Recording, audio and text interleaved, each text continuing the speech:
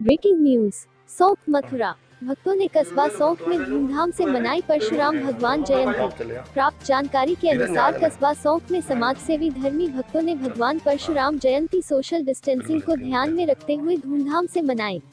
भगवान परशुराम की तस्वीर प्रतिमा की भक्तों ने पूजा अर्चना की और भगवान परशुराम के जयकारे लगाए। इस अवसर पर कस्बा सौंक से मुख्य रूप से गौरी शंकर शर्मा, सभासद नीरज पंडित, धीरज पंडित, गौरव दीक्षित, लकी दीक्षित, योगेश शर्मा आदि ने संपूर्ण कार्यक्रम में विशेष रूप से योगदान दिया और सभी ने आज देश में फैले हुए कोरोना वायरस संक्रमण के खिलाफ शक्ति प्रदान करने के लिए ईश्वर से प्रार्थना की और साथ ही साथ लोगों को घरों में रहने की सलाह दी।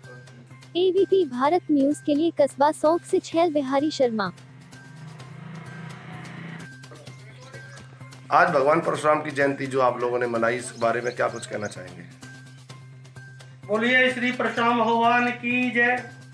दरअसल बंधु ऐसा है कि हर वर्ष की बात ही हम लोग अपने कस्बे में भगवान की जयंती बहुत धूमधाम से मनाते थे लेकिन आज जो विपदा है, जो आपदा चल रही है, उसकी वजह से हमने ये कार्यक्रम स्थगित कर दिया है और हम केवल अपने प्रभु की आराधना संक्षिप्त डिस्टेंसिंग के माध्यम से कर रहे हैं। और मैं एक संदेश देना चाहता हूँ कि इस अवसर पर ईश्वर को ज़रूर स्मरण करें और ये आया हुआ संकट जो है वो कुछ दिनों में टल जाएगा।